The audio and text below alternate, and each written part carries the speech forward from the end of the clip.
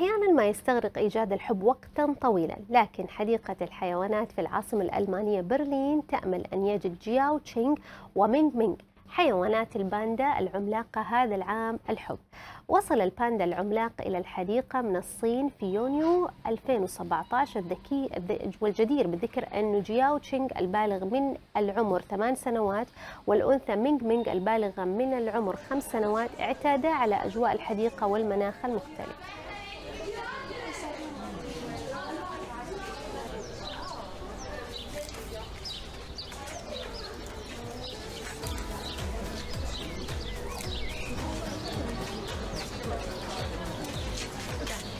Obrigado.